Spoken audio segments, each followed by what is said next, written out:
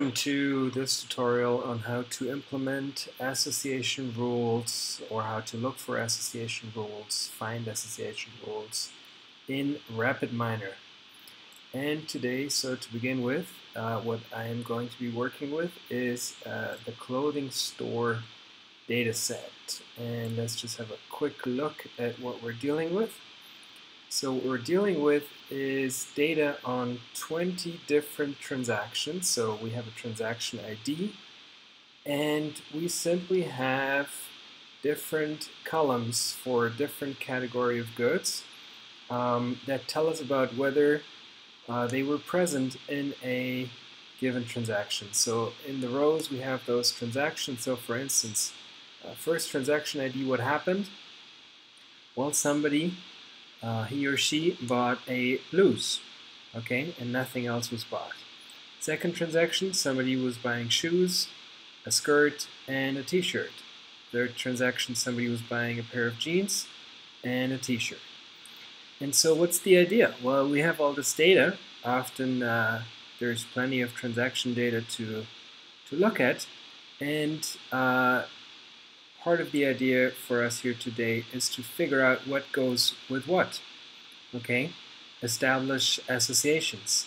So that once we establish associations, for instance, somebody that buys shorts may always buy shoes, um, then we could uh, establish or create strategies in order to increase our sales, right? Upselling or cross-selling, so we, we could place um, if we know that people buying shorts are likely to buy shoes, we could play the shoes next to the shorts, you know, to make it easy for them and to increase the likelihood for another completed sale. Or if we know it would be a cross sale, if we know somebody is likely to buy shoes after buying shorts, well, we could try and place a particular expensive pair of shoes that maybe otherwise uh, people wouldn't be as likely to buy next to the shorts, again to try and, and get them to actually complete that sale. So that's the idea. Um, and in order to get to those types of insights, um, we need to run a couple of things. So we've got our data set here. Uh, first thing we need to do is um, create um, a set of um, observations, or rather data, um, or what's called a frequent set um, which will tell us how many of these uh, items go together. What are the relationships between those different items? So FP, the FP growth operator will create this frequent uh, set for us, and we'll take a look at that in a second. And um, what goes out here is also the same example set that goes in. Now, um, we have a problem here, which is that uh, if we click on it, it tells us regular attributes must be of type nominal. So this operator, or else if we click right click, um, it doesn't actually show us to us here as others, but uh, the problem is that it doesn't accept just any type of data input. And what we have here, if we look at our clothing store, we have them all uh, as 0, 1, so this is an integer data type, and what the operator wants is basically a nominal type. Um, and so what we can do is simply to convert uh, numerical to binomial to solve this problem. Okay, so we'll drag that in here, and we'll say please uh, dummy code all of our different variables. So what this will do is we can look at that uh, step by step as well, is simply, let's rerun it from the beginning, convert all of these zero ones, if it works out, into true and false. Okay, so now we have them as binomial data type, and that's exactly what this operator FP growth requires. So the error problem went away. Okay, so if we go back to our uh, operator here, and I'll just remove those breakpoints, what we need to specify uh, in our case uh, is really just one thing. So first thing we want to do is actually deselect this find minimum number of item sets. We do not need that. And uh, the only thing that we're going to play around with really is what's called support.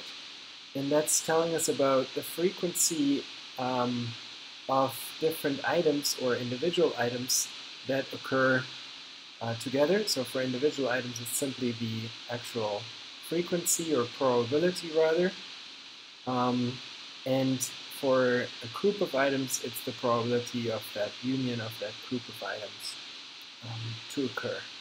Okay, so if we run this, what we will get is nothing. Why didn't we get anything? Uh, we get our example sets, but we didn't get any frequent item sets. Well, that's because our support is by default incredibly high. So we could uh, lower this, let's say to uh, 50, or we can go real low into 20, 20% for now. And see what happens. So we run this again. And now uh, we see that the highest support that we have in our data set is actually at 70%. And if we go down to 20% in order to create these frequent item sets, uh, we get uh, 17 different sets. To begin with, what we get is, uh, first of all, jeans appears to be the most common item in our uh, basket. So there's 70% um, of the transactions include jeans. Okay, that's what it tells us. 70% also include t-shirts, 50% include shoes, 30% include skirts, and then there are some common item sets. Okay, so all this is telling us at this point is um, there's a 35% uh, chance of jeans and shoes, 25% chance of jeans and shorts. Okay, so this is good, but it actually uh, is not what we want yet. Uh, we do not uh, receive here except for our data set as well as these item sets. Um, we don't receive any association rules. And so in order to get those, all we need to do is add um, that operator, create association rules, and if we just drop it in for here, for a second, we'll have a look at what it requires. So what it wants is um, the frequent item sets. That's what goes into the input here, and what goes out are the association rules, as well as uh, the frequent item sets if we want to pass them through.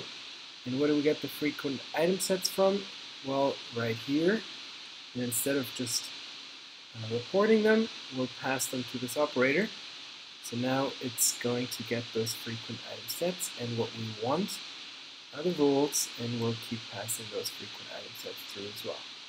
Now what we get to play with here is after we have first uh, set this initial constraint of a minimum support, which right now is pretty low, but uh, as we saw to begin with, the standard 95% uh, was, uh, was way too high uh, for us to get any results with our data set.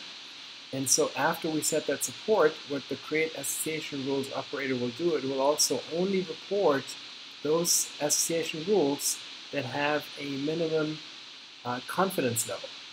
Confidence uh, being sort of the conditional probability if you bought uh, jeans, what is the actual probability of you also buying um, another item. And of course, we generally want this to be as high as possible, but maybe this is also a bit too high of a threshold for us to work with at first, so we can set this down at say to 50% for now and see what happens.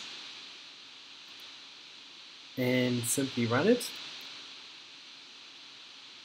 Okay, so here we're getting the same frequent item sets as just before. So there's nothing new here. But what we also get next to, again, our data set are the actual association rules. And this is really the meat, uh, the most important thing we're interested here. First of all, we see that there's a bunch of rules that have been created. And if we move over here, we have uh, basically uh, the premise here, which is sort of the antecedent. If somebody buys jeans and shoes, how likely is he to buy shorts? That's the conclusion. That's what we're interested in. Okay, so we've got a bunch of different rules here. Um, and we have a bunch of different metrics um, uh, to, to describe those rules and to make judgments about those rules. And what we're really going to be looking at is support, confidence, and lift. Okay, but maybe the first thing we could do here is we could just sort this. Uh, could just sort this based on a support, and as we'll see, um, given our constraints of creating rules that have at least a certain amount of support, which was pretty low, as well as at least a certain amount of confidence, uh, we get all these different rules. And if we sort them by support, um, the first thing we get is t-shirts and shoes. Okay, what does that mean? How do we read this rule? That's our rule number 13. What it tells us is, okay, what's if somebody bought a t-shirt, what's the actual likelihood that he'll also buy shoes? And again, this is what we're interested in at the end of the day. Uh, if it turns out to be really high, we may want to position some shoes next to the t-shirts, okay, to cross-sell. So in this case, if somebody bought t-shirts, what's the likelihood that he buys shoes? That's our confidence. That's basically um, the conditional probability of uh, shoes, provided that somebody also bought a t-shirt. Okay, the first thing we get is support, and support really just tells us that uh, uh, there's a 50% likelihood uh, that these two are bought together in our data.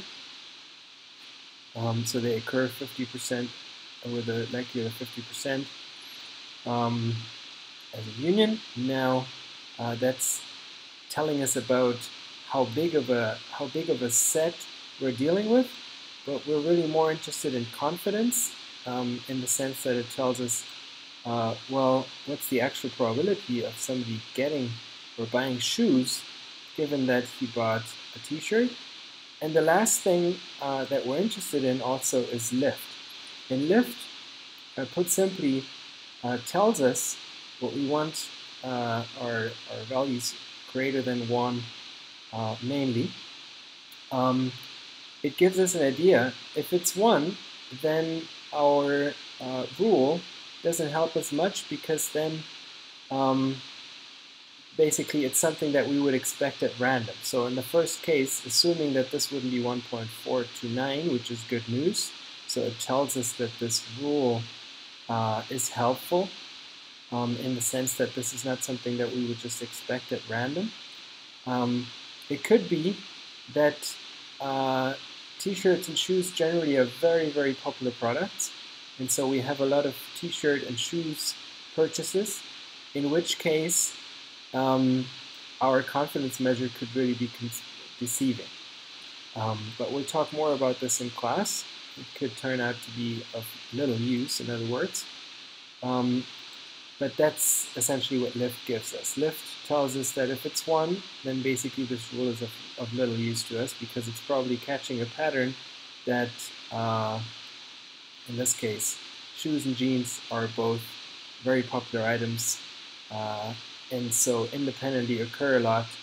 And so we would expect, obviously, them also to occur together. Um, and that's not of, of, much value to us then. But uh, what we're looking for is we look for great support, meaning as high as possible, uh, which to begin with tells us uh, that this happens very frequent or very infrequent.